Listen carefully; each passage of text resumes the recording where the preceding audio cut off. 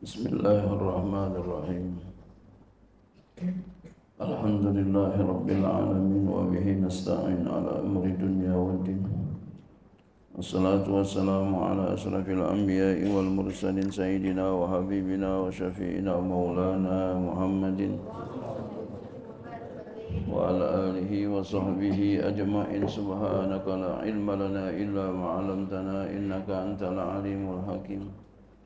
ولا حول ولا قوة إلا بالله العلي العظيم. أما بعد قال مفسر رحمه الله تعالى وأدام نفع في علم في دارين. أمين.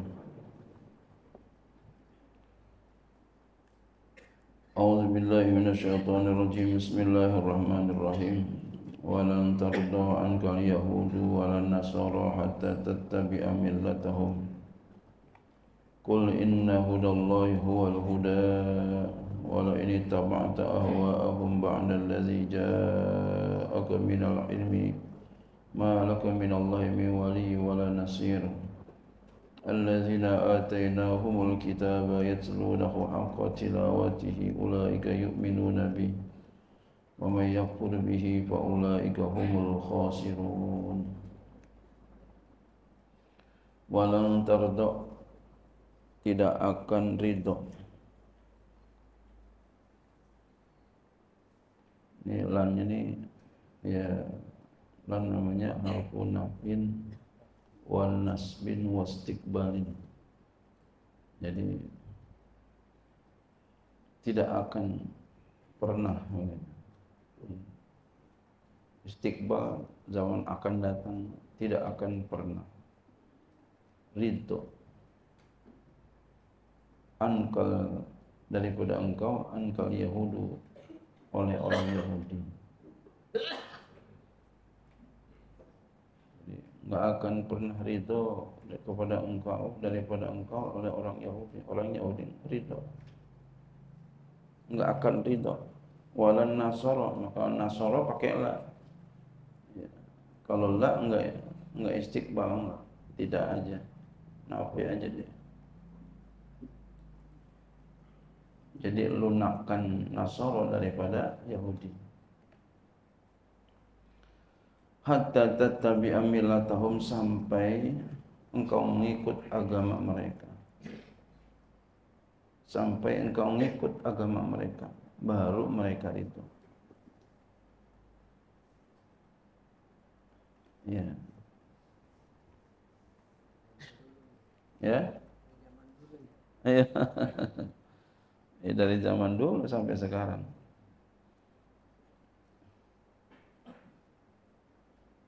Enggak ngikut agamanya, ikut apa? Budayanya. Enggak ikut agamanya, ikut eh, budayanya, ikut bicaranya, ikut politiknya, ikut ya gaya uh, pergaulannya. Jadi kita harus hati-hati dengan orang Yahudi. Tapi juga enggak semua orang Yahudi jelek, enggak. Jangan juga salah bersikapnya. Ada juga yang baik. Nabi banyak sekali hadis sahih menjelaskan bahwasanya Nabi ya, banyak bergaul kepada orang yang orang Yahudi, ya, orang Yahudi yang mana yang baik, ya, yang masih muda, masih kecil. Terima kasih. Oh, ya.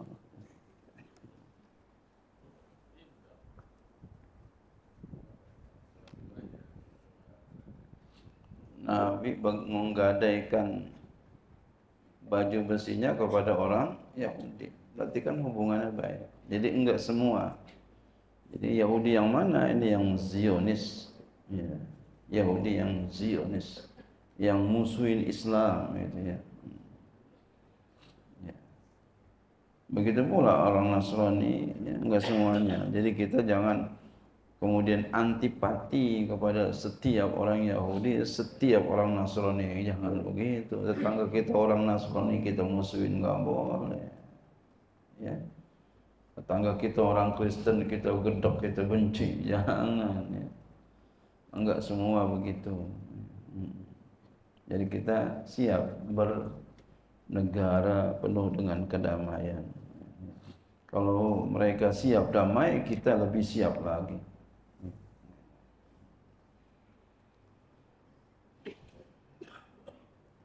Karena ada orang benci banget sama setiap orang, enggak boleh begitu kita. Enggak boleh.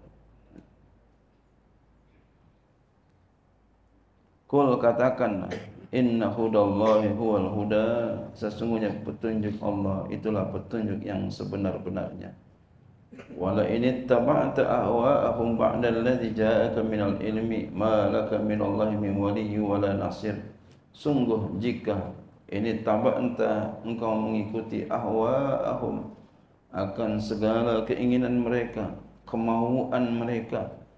Ba'dal ladzi ja'aka minal ilmi setelah ya datang pengetahuan kepada engkau.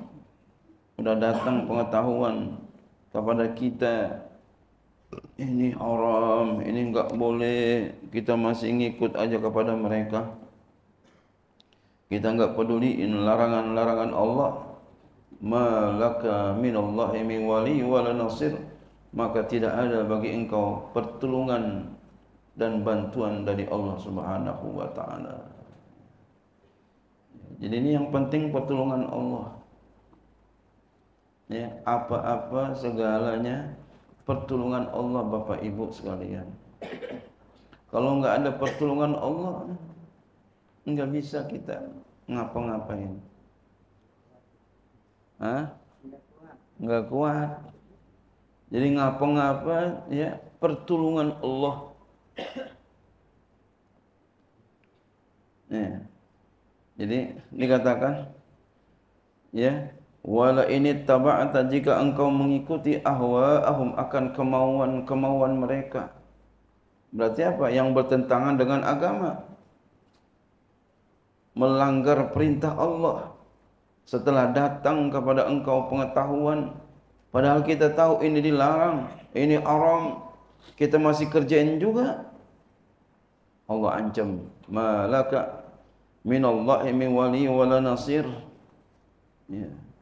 tidak ada bantuan enggak ada pertolongan kepada engkau sedikit pun enggak ada kalau Allah sudah enggak tolongin kita walaupun seluruh dunia manusia bantuin kita tenggelam kita enggak bisa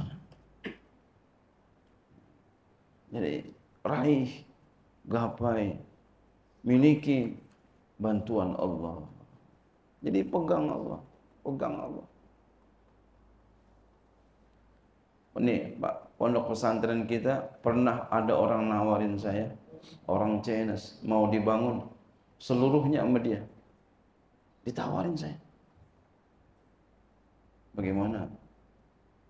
Ya, pesantrennya nanti dibangunin sama orang Cina ada.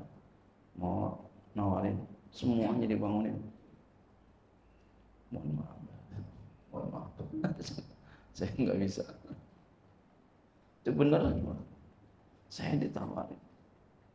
Saya nggak mau kira-kira kalau orang Cina duitnya dari mana kira-kira duitnya dari mana kita harus selektif itu Sering Pak saya yang namanya ditawarin duit yang macam-macam begini-begini sering. Saya enggak mau. Saya pengen yang yang yang udah benar ya, bersih. Kenapa buat santri? Ya. ya. Yang bersih aja kadang santri ada yang ada yang kagak betah bagaimana yang panas itu ya. Gerah. Eh kabur mulu. Jadi yang kita perhatiin adalah pertolongan Allah. Jangan sampai kita nggak dapat pertolongan Allah. Jauhin yang haram, jauhin sejauh-jauhnya larangan Allah. Jadi kita gapai pertolongan Allah, miliki, raih pertolongan Allah.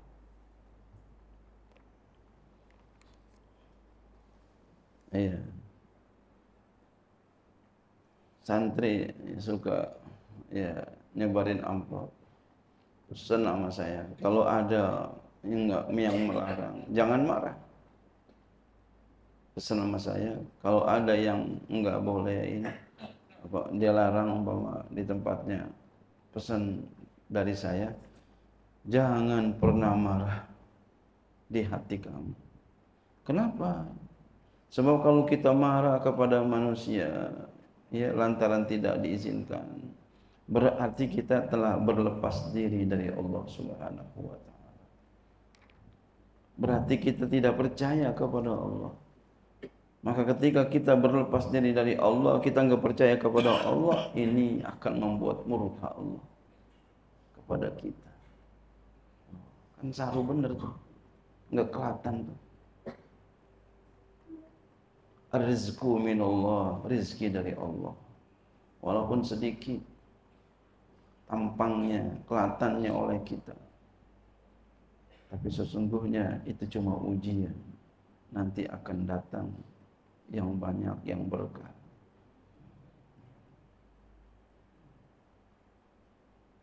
Jadi Allah itu ya selalu menguji hambanya. Enggak ada yang enggak diuji, enggak ada. Kenapa? Karena Allah umatnya hambanya banyak. Ya. Pasti ada yang memiliki ranking tinggi. Ah, orang kalau pengen diberi ranking tinggi pasti ada ujian. Enggak ada tanpa ujian. Biar apa? Enggak ada yang ngiri.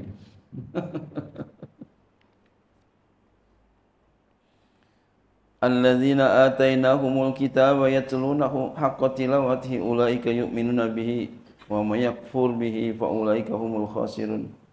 Orang-orang yang kami berikan mereka kitab mereka baca kitab itu dengan sebenar-benarnya baca.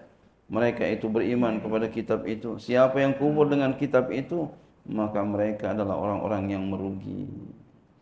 Jadi percaya apa yang dibacakan dalam Al-Qur'an. Enggak ada salahnya. Walaupun ya memojokkan kita umpama tampangnya, rasanya, kelatannya, padahal tidak.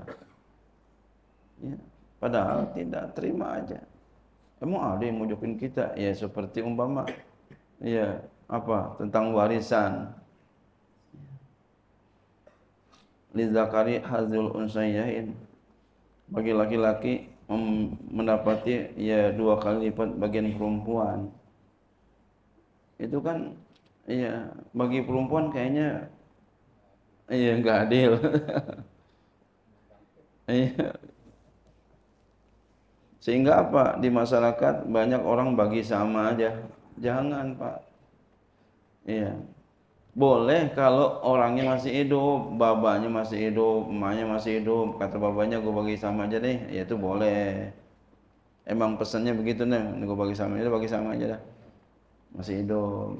Eh kalau udah meninggal ya nggak boleh. Dulu nggak ada pesan apa-apa. Ya, ya baginya ya sesuai dengan warisnya. Kalau masih hidup itu bukan waris namanya, namanya hibah. Itu hibah ya terserah. Mau sama, mau lebih kurang, boleh-boleh aja. Ya, gitu. Ya, kalau lihat anak kita kayak ini kalau kita tinggalin kita kagak bagi sama sekarang kita masih hidup pada berkelahi ini ya. Kita bagiin sama dan masih hidup itu bagus. Bahkan akan lebih bagus begitu masih hidup. Iya. Iya. Tapi yakinlah ya Allah Maha Adil ya ya ketika orang nih orang meninggal dunia ya meninggal dunia anaknya ada perempuan ada laki. Ya yang perempuan dapatnya satu yang laki dapatnya dua. Entar juga sama itu ketika berjalan. Sama. Atau ada orang yang meninggal dunia duluan anaknya daripada bapaknya ya duluan dia daripada bapaknya ah, ya kemudian dia uh, mahjub sama anaknya yang lain, anak laki. Nah, berarti kan apa? Mahjub, enggak dapat tuh. Iya, ya, zawil arham jatuhnya. Nah, yakinlah di situ pasti ada rahasia Tuhan. Ada rahasia Allah Subhanahu wa taala. Boleh jadi dulu orang tuanya habis-habisan tuh duit gara-gara jam mulu tuh. iya, gara-gara jam mulu ngabisin duit bapaknya. Itu kalau kita perhatiin begitu. Iya. Jadi gara-gara dia mulu ngabisin tuh. iya. Jadi bapaknya yang jual mulu gara-gara dia. Jual tanah gara-gara dia, jual tanah gara-gara dia, yang lain mah kagak bikin ulah. Akhirnya dia mati duluan. Ketika dia mati duluan, nah, anaknya punya anak laki-laki, bapaknya punya anak laki-laki, mahjub dia. Dia akhirnya nggak dapat furudul muqaddarah. Dapatnya zawil arham. Nah, kadang begitu. Jadi rahasia Allah itu Masya Allah luar biasa. Kita terima aja. Saya pernah ngeliat-liat begitu, titik. Kenapa kok bisa begini? Oh, dulunya begini. Oh, iya, iya, iya. Allah Maha Adil.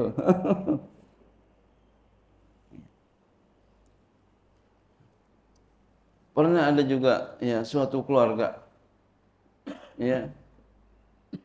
Keluarga. Ini apa yang ini nih. Tapi sangat adil sekali loh ada ya yang ini bagaimana nih bang nih bang. Yang ini bang. Yang ini dulu dia udah udah, udah jual tanah bawa nih. Iya kata saudaranya nggak apa-apa biarin. Bagiin aja sama merata sama sama. Tapi memang yang namanya hukum Allah nggak bakal berubah yang dulu pernah nyakitin orang tua, ngambil duit orang tua, jualin tanah orang tua, ya tetap kurang-kurang juga walaupun warisannya sama. Masya Allah. Itu susahnya nurun kepada anaknya. Nauzubillah. Nurun kepada anaknya. Jadi kita Pak jangan sampai kita bikin ulah sama orang tua, susah ntar kita bakal susah kita bakal sulit hidup. Sulit hidup kita akan turun kepada anak kita. Itu bukan hukum karma. Karena susah ada susah itu. Pokok dosa kita namanya. Ya, jadi jangan sampai kita tuh nyakitin orang tua. Jangan. Jangan sampai nyakitin orang tua. Cari ridhonya. Jauhkan murkanya. Qala Ibnu Jarir berkata oleh Ibnu Jarir yakni ya kehendaki biqaul dengan perkataan jalla sanahu walan tardu anka al-yahudu walan nasra tatabi millatahum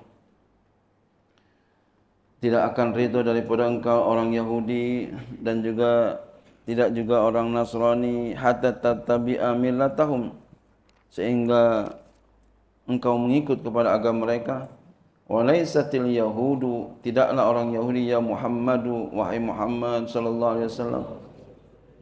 Walan nasara dan juga tidak orang Nasrani biradiyatin anka abadan. Ridho enggak akan ridho kepada engkau selamanya. Fadak maka tinggalkanlah talaba ma yurdihim wa yuwafiquhum. Maka tinggalkanlah mencari-cari ya, mencari-cari. Kita artikan mencari-cari. Nah, tolab itu menuntut. Tinggalkanlah mencari-cari sesuatu yang membuat mereka senang dan sesuatu yang menyepakati mereka. Jauhin. Udah jangan cari-cari. Biasa aja udah. Kenapa? Mereka nggak bakal ridho. Mereka nggak bakal senang selamanya wa aqbil ala talabi ridallahi fi du'aihim ila ma ba'asakallahu bihi minal aqi. Wa aqbil dan menghadaplah engkau. Tampillah engkau ala talabi ridallah atas menuntut ridha Allah. Cari ridha Allah. Cari ridha Allah. Fi du'aihim pada mengajak mereka. Cari ridha Allah ketika kita ngajak mereka yang diridhai Allah bagaimana ila ma ba'asakallahu bihi minal aqi kepada apa yang Allah bangkitkan engkau dengannya minal aqi daripada kebenaran. Kita mengajak mereka menuju Allah cari yang membuat Allah ridha. Cara apa? Ya, bagaimana yang membuat Allah ridha? Jadi cari cara yang membuat Allah ridho. Jangan sampai kita punya cara Allah kagak ridho. Menghalalkan segala cara. Jangan. Cari yang membuat Allah jadi ridho. Wa qawlu ta'ala dan firman Allah Ta'ala, Kul inna hudallahi wal huda. Katakanlah sesungguhnya petunjuk Allah, itulah sebenar-benar petunjuk. Ay kul ya Muhammadu, katakanlah wahai Muhammad, inna hudallahi alladhi ba'athani bi'i awal huda. Sesungguhnya petunjuk Allah yang telah Allah bangkitkan, ya utus, ya sama. Bangkitkan aku dengannya, itulah petunjuk, itulah sebenar-benar petunjuk. Yakni huwa dinul mustaqimul kamilus syamilu dialah agama yang lurus, agama yang sempurna, agama yang meliputi. Maksudnya apa? Meliputi ini bersifat umum. Ya, rahmatan lil alamin, semua mencukup, mencakup.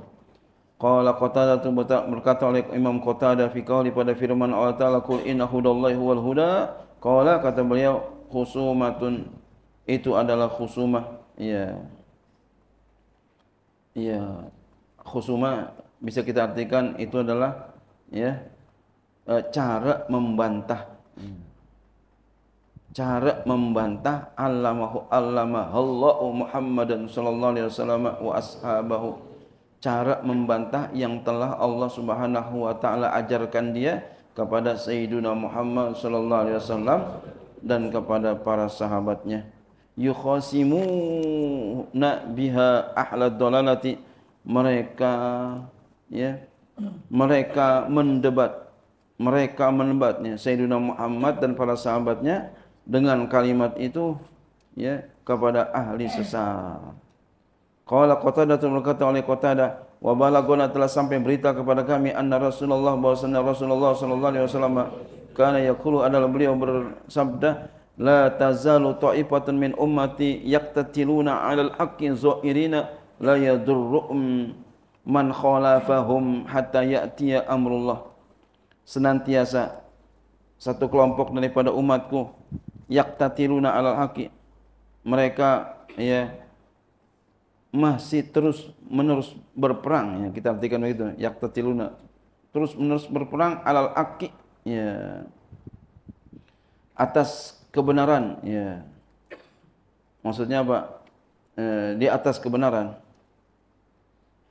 Ya dalam membela kebenaran. Ya, bisa juga kita artikan begitu. Zohirina dengan jelas la yadurruhum man khalafahum orang yang menentang mereka tidak akan menyusahkan mereka jadi orang yang menentang mereka. Jadi kita ni berdakwah, menyampaikan agama Allah, tu orang yang benci kita enggak bakal nyusahin kita. Tenang aja. Hatta ya'tiya amrullah sehingga datang amrullah, perintah Allah.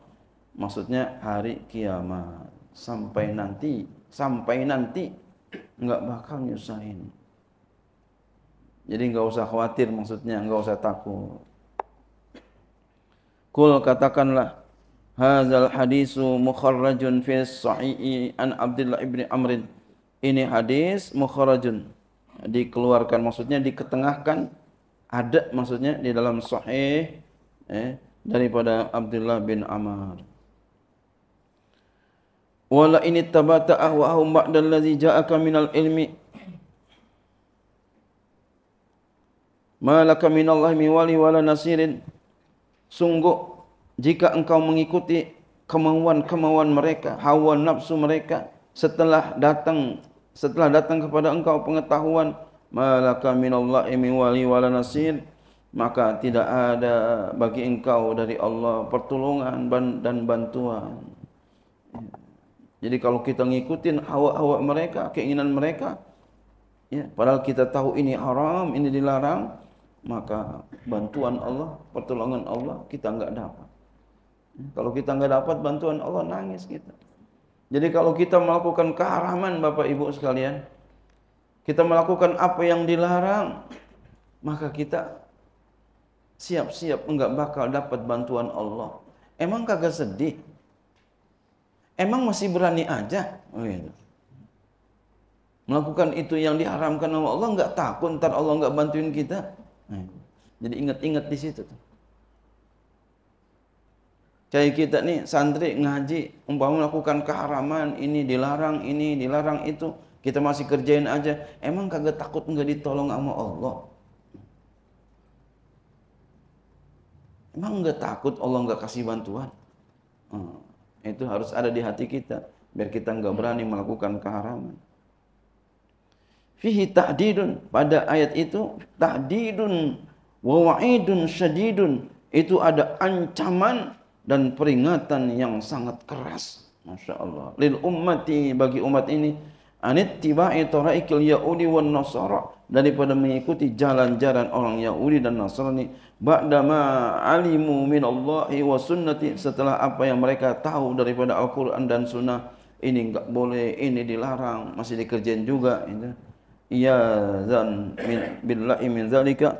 Ya, kita berlindung kepada Allah Subhanahu wa taala dari yang demikian. Fa innal khitaba ma'a rasuli. Maka sesungguhnya khitab itu ya ditujukan kepada Rasul wal amru li ummatihi.